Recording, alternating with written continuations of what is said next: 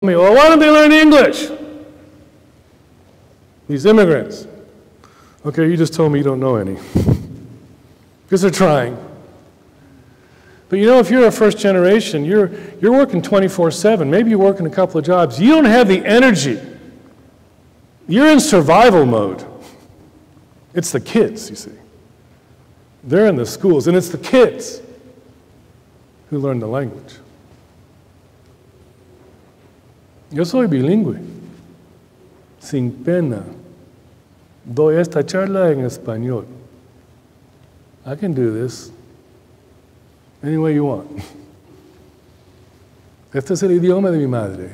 This is the language of my mother. And there's Joseph. And then he says things like, you know, when I die, take my bones home. Egypt isn't home. Home is that place far away from which he was taken. There's something in his soul that still reverberates Israel, Canaan. And then, you know, the story tells us that Egyptians despise shepherds. And so when his family comes, Jacob, the brothers and their families, they put them in a, a part of the delta that was kind of quarantined. They wouldn't have to see them. But there's an interesting scene there as well, you see, because the narrative tells us is that Egyptians hate shepherds. But then what Joseph does he introduces his father to Pharaoh. See, his father is one of those despised shepherds. He's just a poor Bedouin. What went through Joseph's mind when he presents his dad to Pharaoh? Was he embarrassed? Was he ashamed of his father? And you get that powerful engagement where you see the old man walk over to Pharaoh and he blesses him. What a powerful story. Have you ever thought of Joseph as an immigrant story? How do you read that story? Does it resonate? If it does, how? You work with Hispanic families, and the kids are ashamed. They're ashamed of their parents, ashamed of their language, translating for their parents at the school meetings. You go into an Hispanic church and the parents are speaking in Spanish and the kids are speaking in English and the teenagers in the back texting something. The parents will speak to their kids in Spanish and the kids will answer in English. How's that? Living with the shame. So you will read this story and resonate with it as an immigrant in ways that the host culture may not even think of. Esas son nuestras historias. Those are our stories. Estamos en la palabra de Dios. We are in the Word of God.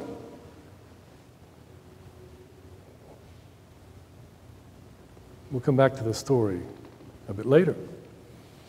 Now, if you finish Genesis and just turn the page, you begin another story. story begins the first few verses of Exodus with the people of Israel just multiplying. But it tells us that uh, there arose a Pharaoh who didn't know Joseph. But the Egyptians are scared. Do you remember why? The numbers. Right? It's an invasion. You hear the language of our media? It's a tsunami. It's the numbers.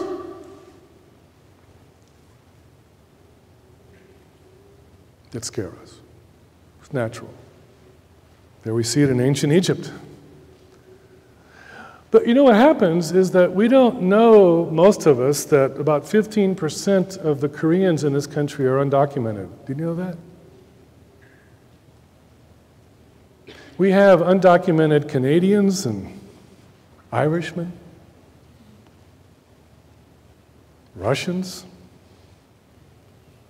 but the Hispanics, oh my gosh, they're everywhere. It's the numbers that scare us. And so, what do you do? You, you put into place a series of legal measures to control the population. It's a very natural kind of move. Very cruel in that case, where they're going to kill the little boys because they're afraid that, that Israel will rise up against the Egyptian government, national security problems. But they have these midwives, these very brave women who save the little boys. But then what you see that the Egyptians do is they've been using uh, the Israelites for labor, construction, to build their buildings and their monuments. And then they come up with a law that makes no economic sense. You know, you've got to keep the quota of the bricks, but we're going to make it harder for you to build the bricks. You've got to find your own straw. And if you know ancient building practices, the straw would, you know, you, you mix it with the mud because it gives it substance, and when it dries, it's hard. Without the straw, the, the bricks collapse. But what you see is this doesn't make any economic sense. These bricks are for Egyptian buildings, they're not for the Israelite buildings, which don't have any really. You would think that the Egyptian government would want to have efficiency, make it actually easier to make bigger, better, faster buildings. Makes no economic sense to put all these laws into place because of the foreign presence. Do you hear the echoes into our time?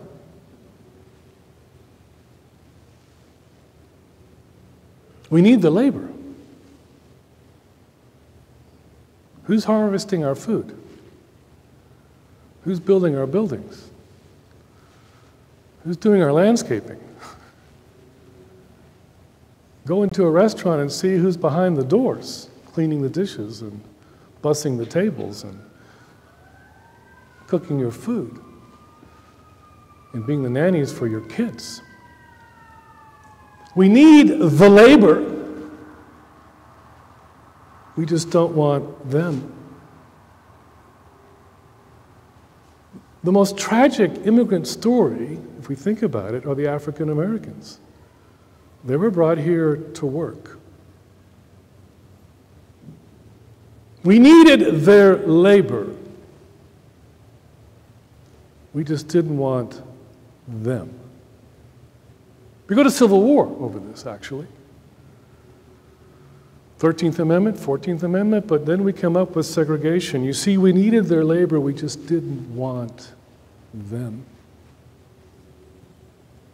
And the story repeats itself with every new wave that comes in. The scriptures have been uncomfortable, isn't it? these immigrant stories? Who do you resonate with? The Egyptians? Or with the Israelite midwives? Where do you stand in that story? Come back to that. Another story. Great story. Ruth. I got to check my time. I could go on. We, we have till like 10:30. Is that? What? Just kidding. I know you want the reception. Let me do Ruth, and then I'll do one more real fast. These are great stories, my goodness. Ruth. You know how it begins? Naomi and her family live in Bethlehem in Judah. There's a famine in the land, and so they leave. They're looking for food. They go across the Dead Sea to Moab. And the sons marry Moabite women, Orpah and Ruth. Okay, flip it. What you see is Ruth and Orpah marry immigrants. But then Naomi's uh, husband dies and the two sons die, and now she says, which is very human, you know, I just want to go home. I hear it's better now.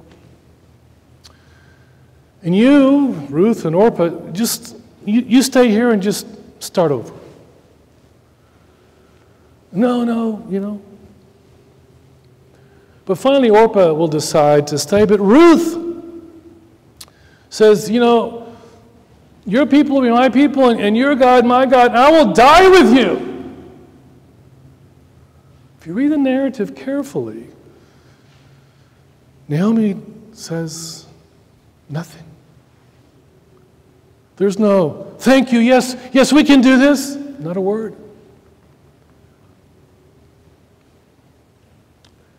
So they begin the trip back to Judah. And now the woman who had married an immigrant, Ruth, now she becomes the immigrant. And they get to Bethlehem, and all the women of the town come out, and they're weeping and they're hugging Naomi. And she says, I'm a bitter woman. God has taken away everything from me. And where did that happen? Moab.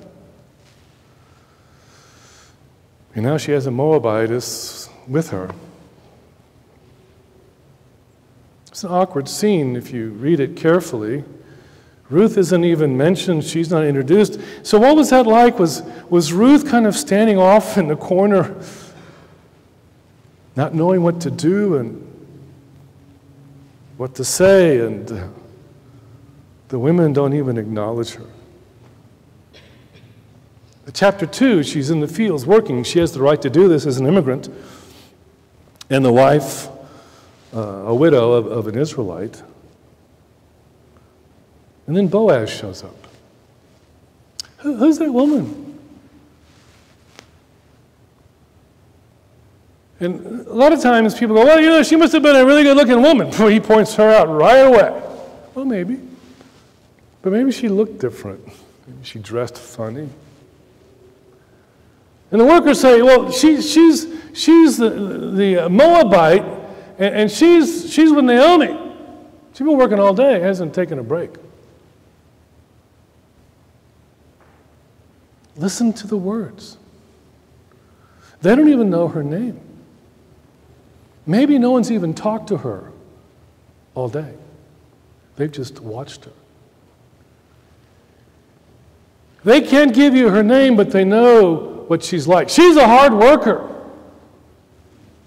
That sounds very immigrant, doesn't it? Boy, those immigrants, well, you know, they work 24 7, you know, they'll work seven days a week. If we need something done, you know, they'll be here on a Sunday morning. They'll work. Yeah. And he calls her over. She comes to him and she bows down to the ground, to her face. I'm a nokriya, the pejorative term for the foreigner.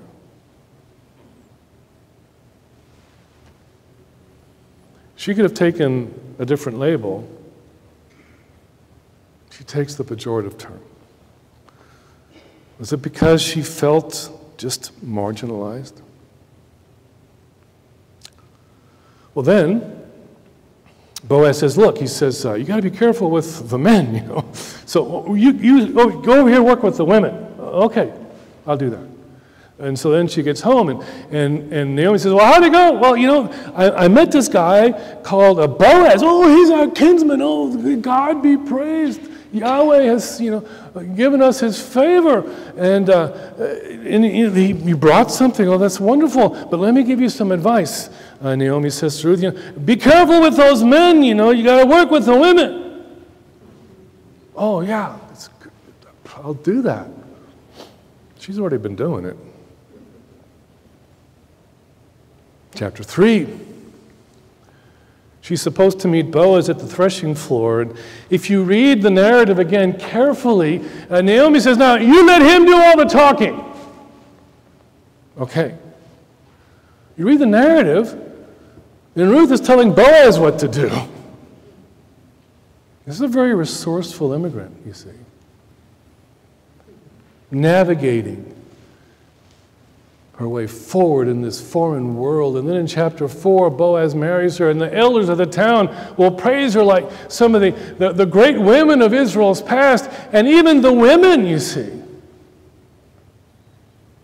say to her, You know, she, they say to, to Naomi, she loves you more than seven sons.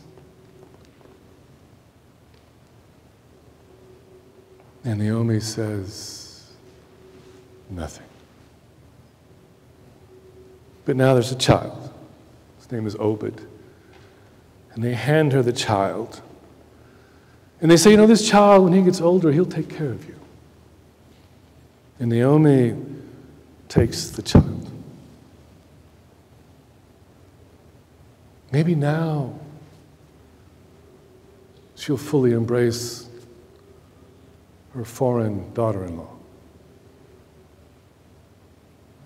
Maybe now things will be better. It's the children who are the bridge. See?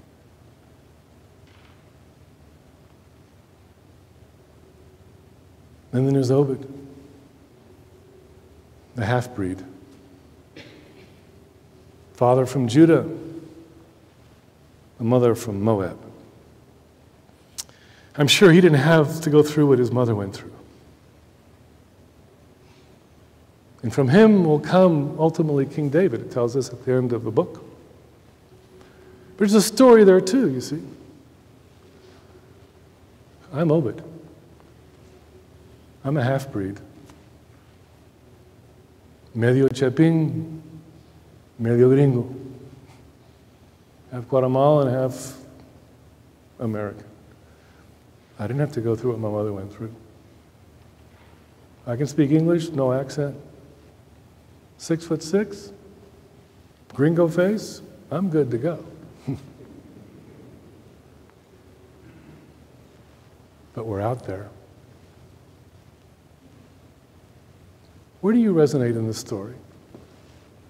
Are you Boaz? Is there a Ruth in this room? Any other Obeds around? Where are you in that story? Last one, then I want to move to some conclusions. Isn't this good stuff? Daniel. We often just miss so many things in the story. He's taken away to Babylon before Judah falls. So from afar, he will hear about the invasion He's educated, which means he probably comes from a very well to do family. He obviously can read and write. Very, very few people could do that at the time. So, well heeled, well educated, probably from a family of means. And then the reports start coming in. See, Jerusalem has been taken. The walls have come down. The temple has been burned. How much family did he lose in the war? how many friends. Everything his family had is gone. They've even given him another name. What was it like? They've taken everything from him. And they've killed his family, for goodness sake. He's a thousand miles from home. And they change his name, and then they train him for the empire. They train him to serve the very empire that destroyed his country and leveled his capital city and took everything from him. Now he must serve them. What was that like? You ever read it that way?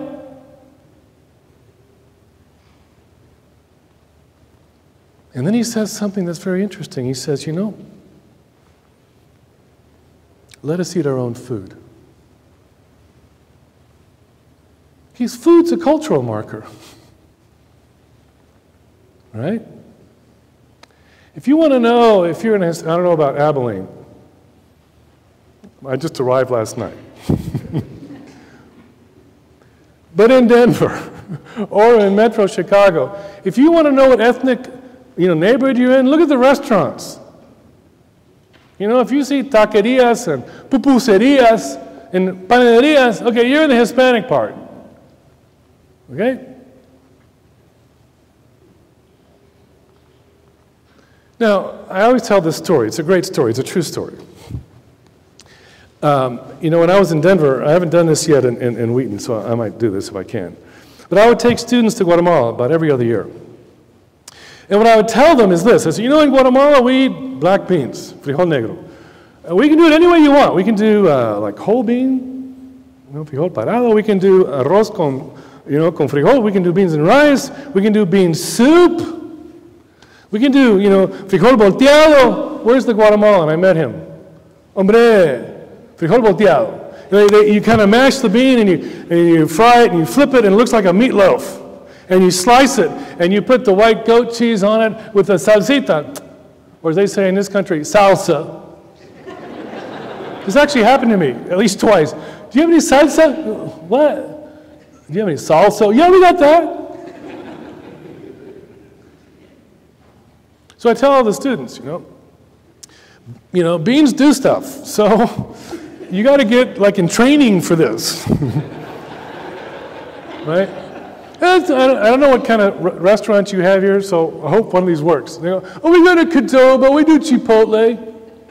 Do you have those here? Oh, okay. well, because you know in Guatemala you can have it los tres tiempos. You can have beans three meals a day. You know, for me, some beans and some toast and coffee, I'm good to go for breakfast. It was always, I could just clock it. They'd fly in on a Saturday night, I'd meet them at the airport. By Wednesday, always on the Wednesday, things begin to happen. Dr. Carroll, for the love of God, can we go to McDonald's, please? And I would go, okay, um, I'll tell you, tonight we'll do, we'll do pizza and saw meat. Pizza in a movie, right? I'll pay. Dr. Carroll's great. So right outside the, the seminary, you know, walk out the main gate, right to the right, there's a, a, a Domino's pizza, a walk-in, not a sit-down. So I'd say, look, I want to get the pizza, you all just wait. What they didn't know, this actually has changed, which is sad, because it was a wonderful thing I, I could do then, but uh, it doesn't happen anymore. But there was this time when Guatemala may have been the only place in the world where you could get black bean pizza. And so I kind of come in with a stack of pizzas, just a small one, just, just for the effect. But it's the food, you see. Why do they want McDonald's? It's the food. What is Daniel saying? You may change our names. You may take away everything that we have. but we are Jews. And he is willing, and his friends are willing to die for their faith, marked by their food. You ever read Daniel like that? There are other stories, but I need to get to my last slide. And what I want to do just ask questions. The virtues and the stories that we just read. To begin to think about immigration in a different kind of way. Not just about right, wrong, consequences, which you have to get to, the good. What is the good in these stories? And for whom? What is the good for the Babylonian government? The good for these young men? But what is the good for Boaz? The good for Ruth? The good for Naomi? And what are the virtues do we see exemplified in the stories as they try to move toward the good? Courage, long suffering, patience, kindness, compassion, loyalty. And how can these stories, once we begin to identify the characters and identify their virtues and begin to see ourselves in their lives, how do those stories begin to shape our own moral reasoning and wisdom?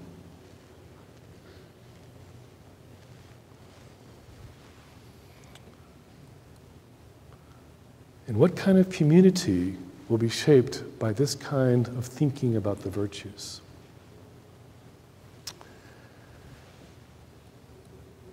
And what kind of practices do we need in our churches to begin to nurture a people of patience, a people of kindness, a people of empathy, a people of long suffering, a people of justice? Read these stories with the lens of the virtues and maybe the whole conversation about immigration begins to change. Immigrant stories, all over the place in the Old Testament and the New. The Bible's full of it. We are created to multiply and to fill the earth. How do we fill the earth? Because we move. The history of humanity is the history of migration. We are just in another episode now. How does the church respond? Especially when so many of those immigrants who come now are our brothers and sisters in the Lord. How do we become a people of virtue? To grapple with this in ways that our politics cannot understand.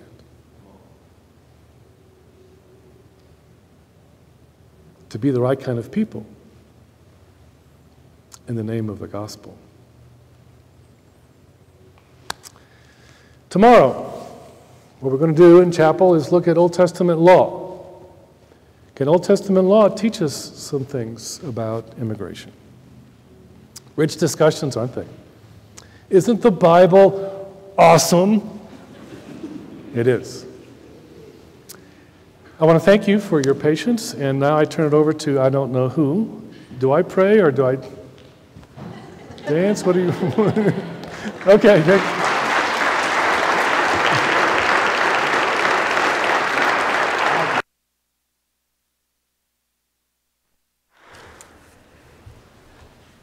Thank you so much, Dr. Carroll Rodas, for telling stories, old stories that turn out to be new stories that hold up a mirror to our culture and to our church. And in the mirror, we see the immigrant in a fresh way.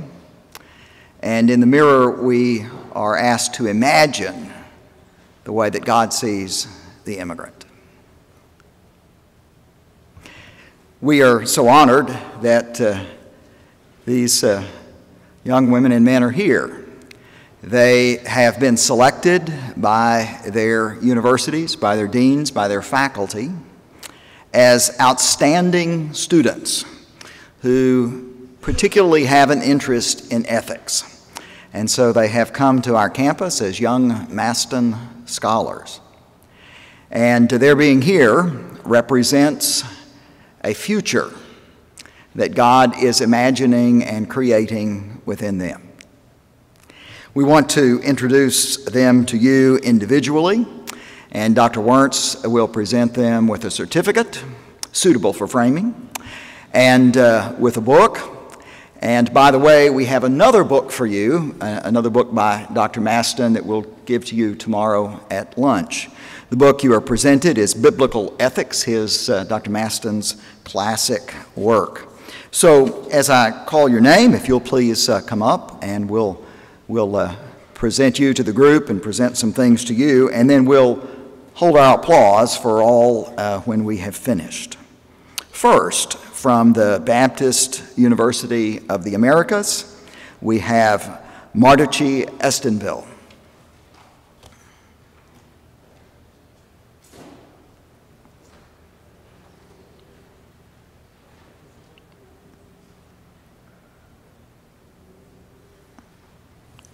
And uh, secondly, uh, also from Baptist University of the Americas, Dominique Lopez.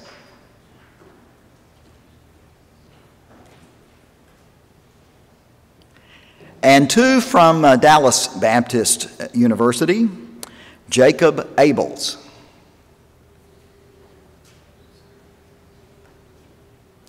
And Jordan Whicker. From East Texas Baptist University, Connor Guthrie.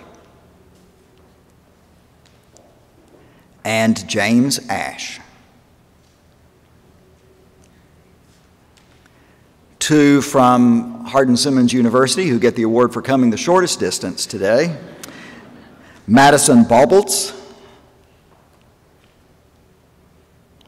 and Carlo Cerna. Two from Houston Baptist University, Beth Zimmerman and Cadence Tripp.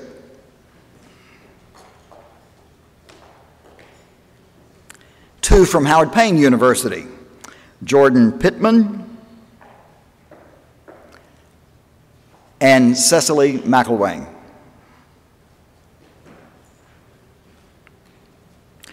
Two from the University of Mary Hardin Baylor, Merrick Reyes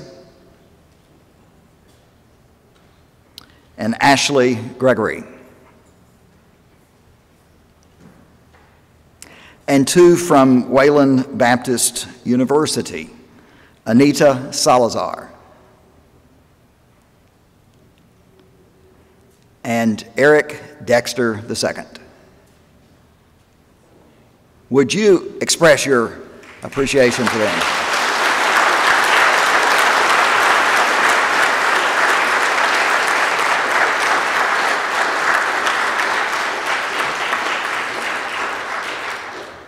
The church will be in their hands.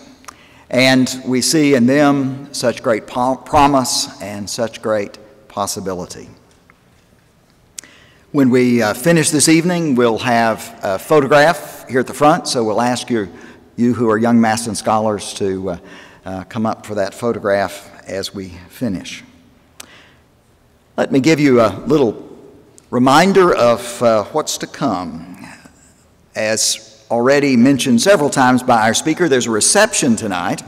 Um, when we finish, just across the hallway in the reception room are a few goodies. And if you can't tell, Dr. Carroll Rodas is a people person. He loves to meet people and talk with people, so it'll be a great opportunity for some personal conversation with him. You'll notice there's some artwork in the reception room and in the foyer done by Hardin Simmons University art students in recognition of the International Day of Women, which is this next Thursday and is being celebrated on our campus. Tomorrow morning, the second lecture is at 9:30, not here, but in Barron's Auditorium, the large auditorium. And then for young Maston scholars at 10:30 in the reception room, you'll have an, an hour to have conversation with uh, Dr. Carroll Rodas. And then we will have lunch, and all of us have dialogue with our speaker in the Johnson Building multipurpose room. So, all of you who are normally a part of our weekly Thursday Logsdon Community Luncheons, we have a place for you, for young Maston scholars, for alumni, for the Maston Foundation. And because it's Texas, we ordered extra food. So, anybody who's hungry, come on. I bet, uh, I bet we'll have enough for, for you. And uh, we'll have some good conversation, some unpacking and discussing of what all of this means. It has been a good day.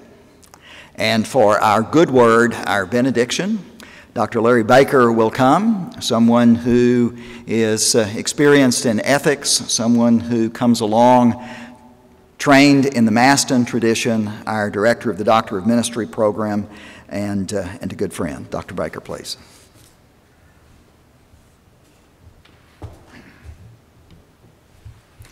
let's stand for prayer. Now let's pray. God of the prophets, through whom you comfort the troubled and trouble the comforted, let us feel the troubling presence of your prophets in our midst. Give us the vision to recognize them, the courage to hear them, and the will to heed them. And may we go from this place tonight in the name of God the Creator, whose strength empowers us to do His work in our world. May we go in the name of Christ the Redeemer, whose love transforms us and uses us to love our world and its people as He loves us. May we go in the name of the Holy Spirit, whose presence guides us into the paths of justice and mercy love, and need. We pray in the name of Jesus Christ, our Lord.